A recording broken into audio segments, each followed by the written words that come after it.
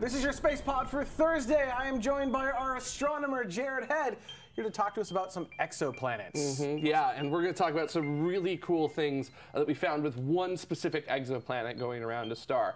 So, formation of systems around stars is what we call nebular theory. And this basically says that after all the gas and dust has collapsed in and started nuclear fusion, which is when a star officially becomes a star, uh, it says that after that, any remaining gas and dust around the star should form like asteroids and comets and maybe planets, and that should be proportional in size to the star itself. Well, we took a look at a star with a special telescope used by the European Southern Observatory, and it was conducted by the University of Warwick. And they have challenged this finding by finding a hot Jupiter type exoplanet around an M class red dwarf star.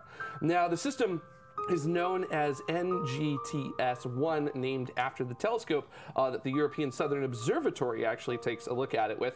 It's about 600 light years away, and the planet NGTS-1b is about 80% the mass of Jupiter, and it orbits its star once every 2.6 days. Now, that current nebular theory says that red stars are significantly more likely to make rocky planets, but here is a hot Jupiter orbiting one.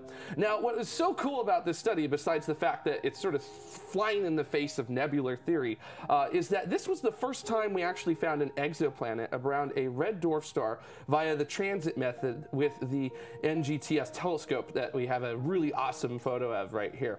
Now, the transit method, method is when the planet blocks the light from a star. You see a dip in the light. We see a, the curve actually go down and then come back up. Previous discoveries of exoplanets around red dwarfs like TRAPPIST-1 were actually done by what we call radial velocity. That means we literally literally looked at the star wiggling back and forth from the gravitational pull of the exoplanets orbiting around it.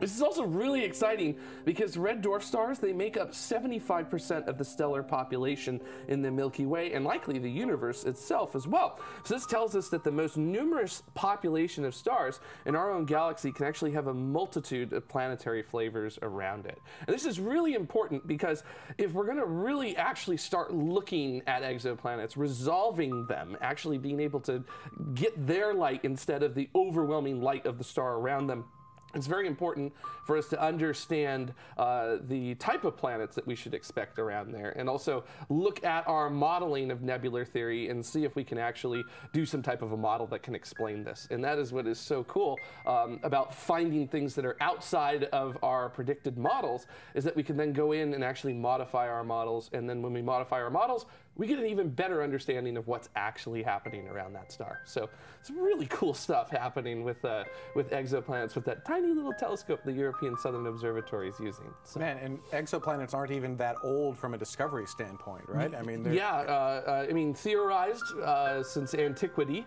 um, if you will, but discovered uh, really in the early 90s, late 80s, early 90s, depends on which organization you you ask. So. All right, thank you so much, Jared. Mm-hmm. Uh, if you like that news, make sure to like and subscribe to this channel. Make sure to hit subscribe and the little notification icon on YouTube so that you get notifications of our live shows that happen every Saturday at 1800 Coordinating Universal Time. This last week, we talked with the Brooke Owens Fellows. It was really great. Click over here to watch that video.